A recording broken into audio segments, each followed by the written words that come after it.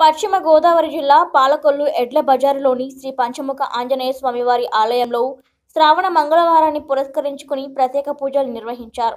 ఈ ఆలయం ప్రసిద్ధి చెందినది కావడంతో ఇవాళ భారీగా భక్తులు తరలి వచ్చారు. మొక్కులు చెల్లించుకున్న భక్తులు అంతా తీర్థ ప్రసాదాలు స్వీకరించారు. అనంతరం ఆలయ కమిటీ ఆధ్వర్యంలో భక్తులకు అన్నదానం నిర్వహించారు.